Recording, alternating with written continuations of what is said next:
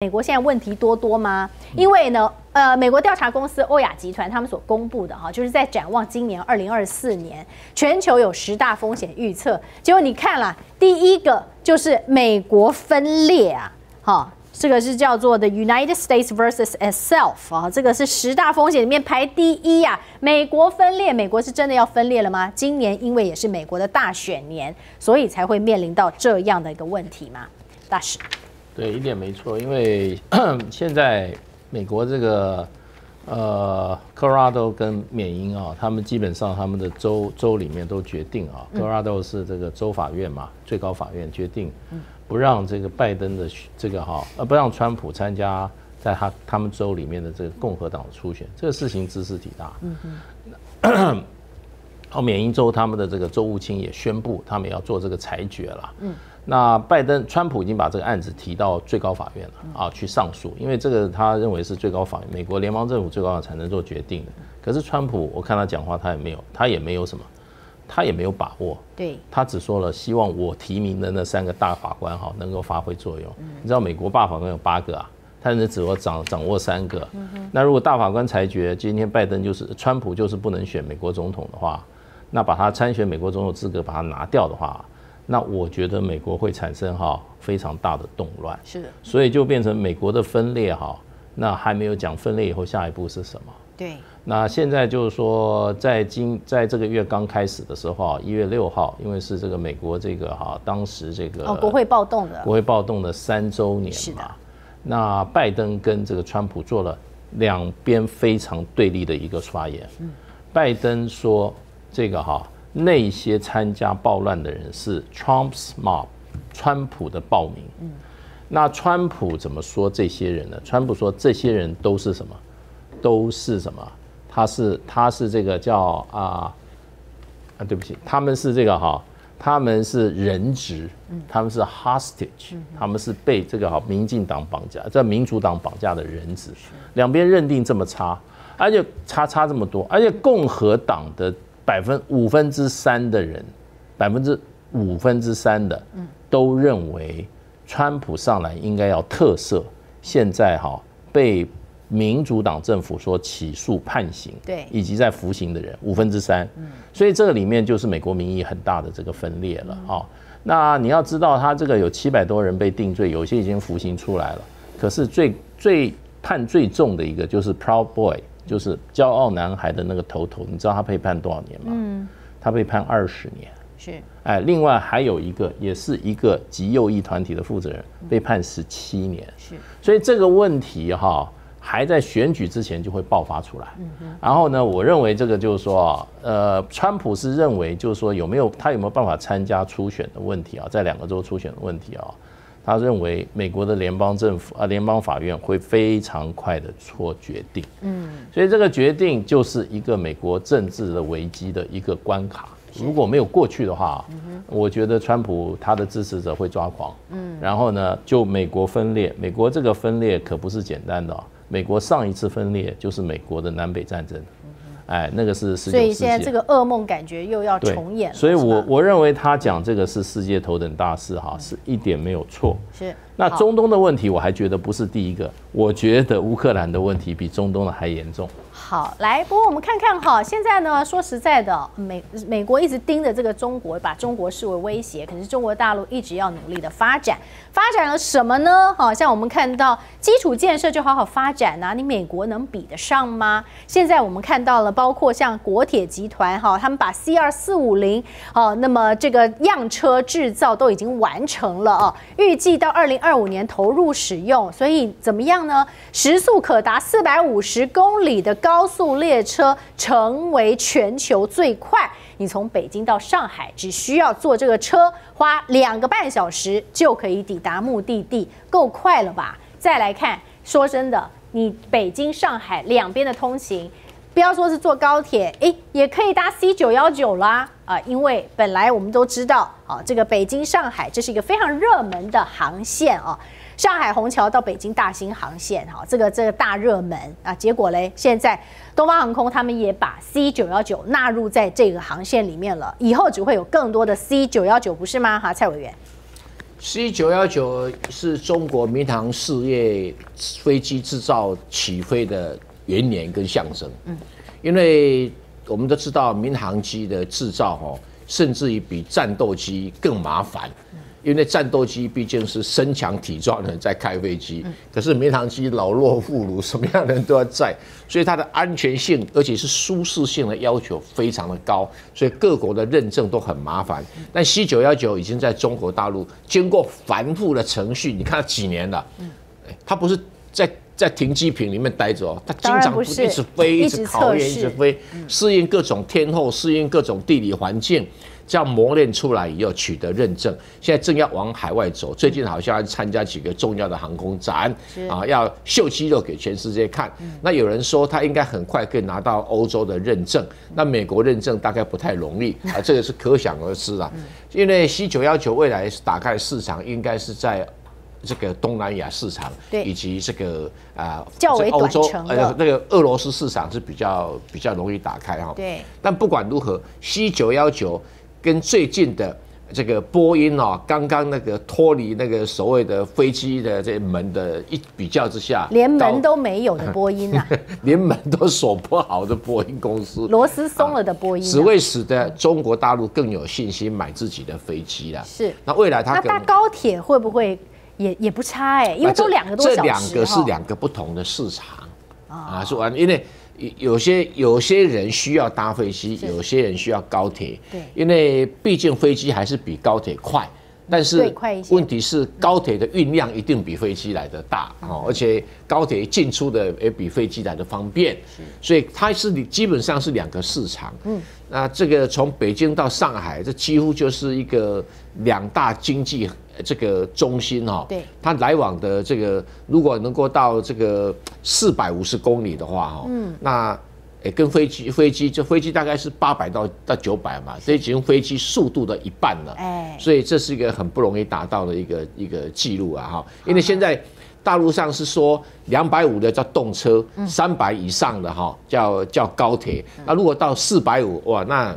那真的是很快很快了，确实如此。好，那现在来看看，哎，在北欧的国家里，现在呢，包括瑞典、芬兰，是不是都挺有压力的？为什么这样说？好，我们先讲，请教杨老师，你看瑞典，好，瑞典这个北欧国家，它其实已经大概维持和平超过两百年了，可是现在却要大家备战。好，要做好这种战争的准备。两个国防的官员哈都这么说，说瑞典可能会发生战争哦，要大家做好心理准备。那当然了，他们的前总理就立刻来批评了哈，说是这样是制造着恐慌吗？哈，就相当的不满。不过呢，到底为什么要这样说啊？那我们也知道，其实他瑞典不是就是要加入北约吗？你加入北约不是应该是要带来的是更加的安定吗？让自己觉得安全吗？可是现在反而要你的人民什么要做好心理准备，要战争了吗？然后在另外一头，芬兰的领导人跟大陆国家领导人习近平有个视讯的会晤。那当然啦，我们知道他们有谈到有关于这个天然气管线之前受损的事情。可是这是不是也在讨论地缘政治啊？因为芬兰。哦，不也是跟瑞典一样，也是要加入北约的成员吗？老师，这两个国家的政治人物啊，在俄乌战争开打到现在连续犯错，他没有教提到他过去国家历史上的教训，嗯，以及在地缘政治上的这种复杂性，他被当时的美国的西方的媒体，就欧洲的这个媒体一面倒的倾向这个战争。就完全是俄罗斯发动发起，嗯，哦，然后呢，接下来就会打北约国家，嗯，那或者是北欧国家，因此没有加入北约、没有得到美国的军事跟核武保护的国家，很可能就下一个目标，嗯，所以他们连续错了两个两次，第一个加入北约，第二个开放给美国的军事基地，瑞典开放了十七个，嗯，美军这个基地让美军可以进入。而芬兰开放了十五个。当芬兰跟美国签署这样一个协议的时候，马上一千三百公里长的芬兰跟俄罗斯之间的边境哦，就变成一个这个导火线。对，啊，因为你现在想想看，芬兰距离那个圣彼得堡多近啊？对呀。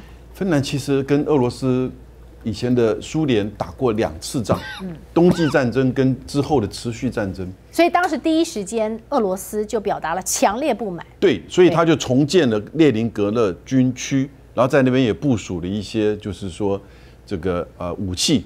那他的部署武器是防卫性的，所以从俄罗斯觉得说，事实上是美国进入到了跟我的这个第一的边境。跟我这个领土的这个边境上面，他当然要做防御。那在芬兰这边，你就这么愚蠢到你现在就了解到，你把你的人民带入到了恐慌，带入到了可能备战，带入到了可能你也会发一个卫星假警报了。嗯，是确实如此哈。来，这个我在求他们了。我补充一下哈，芬兰的总理本来是不想要加入北约的，可是美国干了一件坏事，花庞大的金钱呢，在芬兰的舆论市场上面不断的制造议题、制造话题，使得民意本来百分之二十支持加入北约，一下子变成百分之五十几，所以他们的政客就顺应这种民意，所以让芬兰来加入北约。那美国算法是说，我这样可以控制芬兰湾，因为圣彼得堡出来就是芬兰湾。可是你有没有想过，你美国加上芬兰，如果发生战争的时候，你能够挡得住？列宁格勒军区吗？嗯，这个会比乌克兰更差啊。是，可是你知道吗？这种美国用媒体所煽动出来的一种民意所支持出来的政策，就会把芬兰带上不归路。是啊，那现在问题是，普丁现在可不是吃素的啊。对，我们看到普丁呢，他是第一次，好，第一次去了一个地方，好，就是俄罗斯非常东边的地方，哈，离美国才五十五英里。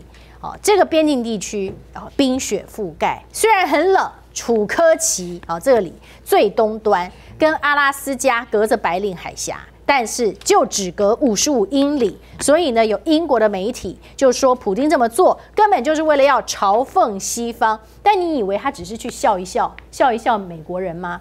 当然不是，应该有他的战略方面的一个用意吧。来，我先请教一下谢大使。那当然了，现在。其实你知道以前这个那个那个地方的两边的这个爱斯基摩原住民啊，哎，他们在冬天的时候都是走过冰过去的啊。白令海那个是通，那个是可以通的。是。就欧亚大陆在这个极寒的时候，他们是通的。嗯。所以就是说，美洲原住民很多是亚洲的这些原亚洲的这个民族过去，就是从那个点出来。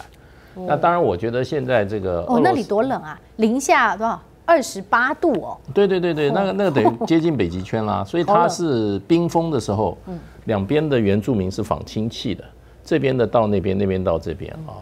那你要知道，阿拉斯加是当时的这个这时候是沙俄卖给美国的，对，所以他们到现在还是非常非常的怎么讲呢？非常非常后悔了。可是阿拉斯加也是事实上是美国跟这个俄罗斯最最接近的地方。所以我觉得普丁特别去一下，当然有他的政治遗憾在里面，极强的政治遗憾。因为这个地方要要对美国的所谓的美国领土进攻哈，这也是最快的一个地方，那形成某种程度的压力。就美国就一直在讲嘛，要在这个北极圈要加强什么部署啦，结果现在你看，普丁以前都不去，现在去，然后又那么靠近美国。对，这个就是表示。给美国施压，我认为另外一方面也引起他国内对这个这块地方的重视了。那还有这个地方将来也是所谓的北极航线的很重要的，必须要穿穿越的地方。是。那有多重意涵，政治、军事跟经济的意涵啦。那本来美呃俄罗斯跟美国在这个哈北极北极海啊北冰洋。还有就是白令海峡那边，就过去就是长期的对峙的很严重，冷战时期更严重。对。那可是，在北冰洋里面，军事力量最强的不是美国，是俄罗斯。嗯。而且在北冰洋里面有最大的城市是俄罗斯的城市，叫莫曼斯克。嗯。莫曼斯克虽然在北冰洋，可是它是一个不动港。哦。哎，不动港，它人口是大概有八十万。那所以我觉得这个俄罗斯现在注重它的北方边境哈，我觉得这一次哈，这个普丁特别去都是有高度的意涵的在里面。确实如此，我最近试了一个东西，真的很有用啊，所以要分享给大家，那就是太阳星全效克菲尔益生菌。哦，吃了两三天，真的有明显的感觉，最主要就是睡眠的品质变好喽。那你知道这个睡得好呢，整个人工作就可以更加的专注，当然情绪也就变得更好了。因为太阳星全效克菲尔益生菌，我才认识了这个克菲尔益生菌。它是由多支菌种益生菌所组合而成的，不但是能够维护消化道机能的正常运作，而且呢还有多种有益健康的保健功能，非常的强大。有台大教授专门研究它，把它叫做神仙的礼物。而您知道吗？有上千篇国际研究证实，克菲尔益生菌不仅是帮助肠道健康，肠道菌透过肠脑轴影响全身的器官，所以维持肠道菌种的平衡，这是解锁身体健康、精神健康的钥匙。对于帮助睡眠、维持好情绪，真的是很有感。也因为这不是药。有季节敏感、代谢困扰、关心恶性细胞风险的好朋友们，选择太阳星全效克菲尔益生菌，做好日常的保养，身体轻轻松松，没有负担。每日克菲尔，时刻美好，Good feel feel good，请上快点购为健康下单，也记得输入推荐码，有额外的折扣哦。